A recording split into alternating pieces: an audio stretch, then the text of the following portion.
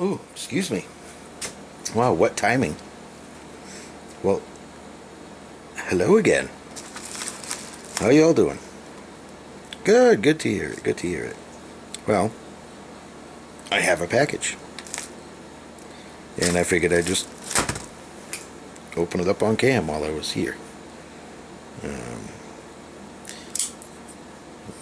mini grip. Uh, let's see.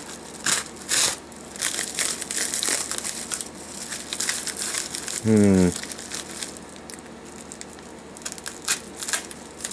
I don't want to... Yeah, see, that was pretty close.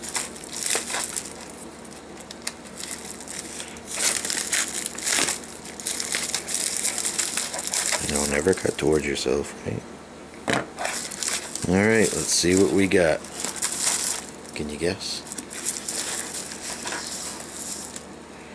Whoa! It's a Mora! Uh, can you read that? Mora Heavy Duty, made in Sweden. Interesting. I had never had one of these newer models, just that old one I did a video on. Oh, come out. Ooh, that's pretty.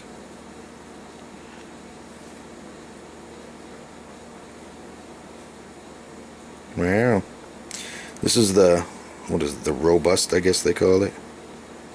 Yeah, it looks a little bit thicker than the other Mora I have. Wow. It feels good. It's so shiny and pretty. Carbon steel. I almost don't want to touch it.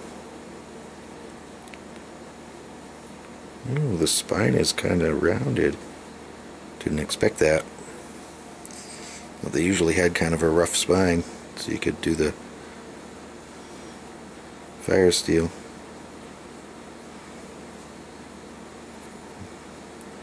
Was it that was? Heavy duty? Hmm.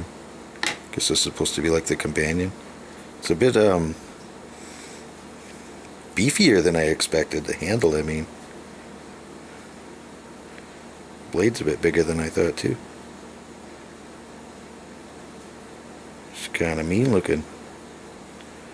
I don't see any secondary bevel. Well, I'll have to take this to the piece of paper. Oh. Yeah. Okay. Well, is that me or is that the paper? Could be me.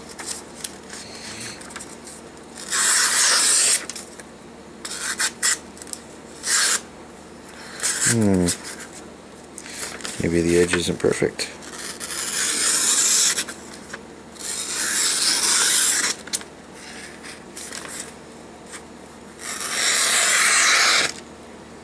Yeah, maybe it was me.